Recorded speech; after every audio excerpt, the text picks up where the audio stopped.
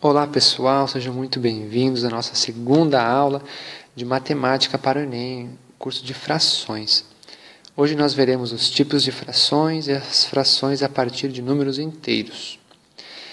Bom, e para começar, nós continuamos o que nós vimos na última aula a partir deste número aqui, desta representação, onde o A é o numerador, o B o denominador e o C a parte inteira. E nós classificamos os, os números fracionários por quê? Porque assim nós direcionamos os nossos esforços. Nós não, não gastamos tempo com o que não é necessário, nós otimizamos os nossos esforços. Bom, então, se nós temos o numerador menor que o denominador, chamamos de fração própria, porque ela é menor que o inteiro. Quando nós temos o b menor que o a, ou seja, o numerador, o denominador menor que o numerador, nós temos a fração imprópria. Por quê? Porque é maior que um inteiro. Quando A é múltiplo de B, ou seja, os números são, são múltiplos, nós dizemos que é fração aparente. Por quê? Porque, na verdade, é um número inteiro, escrito na forma de fração. E quando C é diferente de zero, ou seja, a parte inteira diferente de zero, nós dizemos que é um número misto. Por quê? Porque ali nós temos também mais que um inteiro. Então, misturamos o número inteiro e a fração.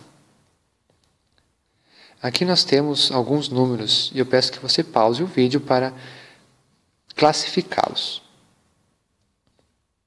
Bom, aqui nós temos então um número um meio que é menor que um inteiro ou seja, é uma fração própria. 5 quartos é maior que um inteiro, classificamos como imprópria. O 9 terços, o 9 é múltiplo de 3. E se nós dividirmos o 9 por 3, nós obtemos 3, por, e, e 3 redondo, sem nenhuma parte a mais, 3 exato. Então, nós chamamos de aparente. Por quê? Porque está representando um número que não é fração. 2 inteiros e 3 quartos. Classificamos como número misto, 1 um inteiro e 11 quartos também. Bom, a partir de números inteiros agora. Nós temos então um círculo inteiro, ou seja, uma peça inteira que contém uma peça. Esse é o nosso círculo que nós temos.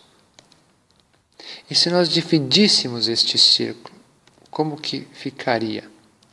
Bom, o nosso círculo inteiro é este aqui. É uma peça e ela continua com uma peça, ou uma parte. Já aqui, nós temos o mesmo círculo, porém dividido. E ele é dividido em duas partes e ele contém duas partes. Aqui nós temos um círculo dividido em três partes que contém três partes, ou seja, ele tem três terços. Cada parte aqui a gente chama de terço. E aqui nós temos então o círculo dividido em quatro partes e este número contém os quatro pedaços. Nós chamamos esta partezinha aqui de quarto. Bom, isso serviu para representar o número 1. Um. E os próximos e os outros números, como é que a gente faz? Bom, a gente faz da mesma forma. E para provar, a gente vai usar então o 3 terços para provar. Sempre números inteiros. Ou seja, representar agora o 4. O que, é, o que seria o 4? O 4 é 1 mais 1 mais 1 mais 1. E esse número ele é representado visualmente através destes quatro círculos divididos em três. Então, nós temos quatro círculos, porém, nós temos que representá-los em frações nós sabemos que cada partezinha dessas em que os círculos foram divididos se chamam terços. Então, esta parte aqui se chama um terço. Quanto terço, quantos terços nós temos nestes quatro círculos? Bom, nós temos 12 destes terços. E como é que a gente pode escrever? Nós escrevemos assim. Neste conjunto de todos os círculos, nós temos 12 terços. Simples assim. Nós contamos como se um um agricultor nos apresentasse uma caixa de fruta, por exemplo, de maçãs, e nós tivemos, temos que contá-las, porque nós queremos comprar essa caixa de maçã. E a caixa de maçã tem 20 maçãs. Nós fazemos a mesma coisa aqui, só que ao invés de maçãs, são pedaços de um círculo.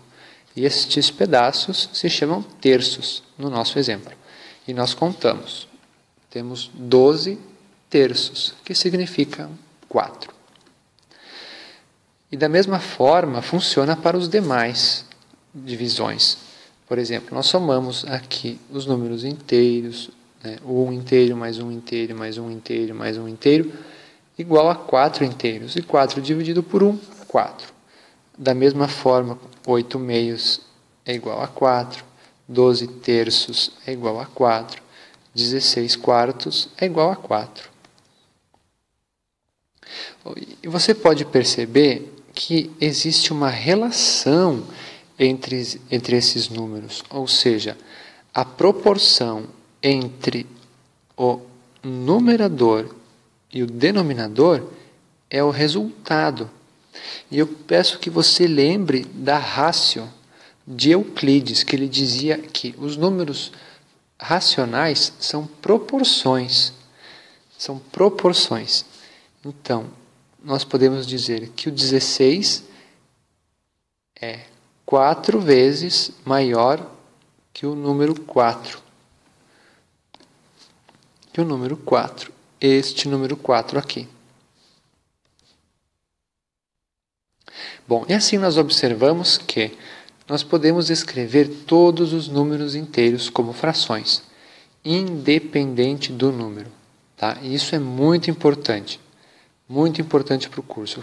Eu peço que você entenda muito bem este conceito. Outra coisa que nós podemos observar é que existe uma relação entre o número inteiro, o numerador e o denominador. Este número inteiro eu quero dizer que o resultado, o resultado, o numerador e o denominador, eles estão vinculados. Eles são múltiplos um do outro. E a fração que resulta em um número inteiro é uma fração aparente, ou seja, é uma fração que na realidade não é uma fração. É um número inteiro escondido na fração e que nós temos que descobrir, só isso é um número escondido e que nós temos que descobrir. Bom, gente, então vamos testar o conhecimento, tá? Um, aqui tem algumas perguntas, né, que você pode voltar no vídeo para encontrar a resposta, tá? Então, quais são os tipos de frações que existem e o que as diferenciam entre si? Então, a classificação delas. Qual o tipo de fração que resulta em um número inteiro? ou seja, a fração que está escondida. Como é que ela se chama? Quantos números inteiros podemos transformar em frações? Essa aqui foi dada um pouquinho anteriormente. Pode voltar alguns minutinhos e encontrar fácil, fácil. E agora, só para exercitar, quais das frações abaixo podem resultar em número inteiro? Todas elas? Uma delas? Quais? Peço que você pause o vídeo e resolva estas simples questões. Bom, aqui então está o resultado das frações. Todas elas são frações que podem ser transformadas em número inteiro, ou seja, frações aparentes. Porém, esta fração aqui não. É a única que não pode. Por quê? Porque não são múltiplos. Todas as outras possuem no numerador um múltiplo do denominador, a não ser esta. Esta aqui não tem.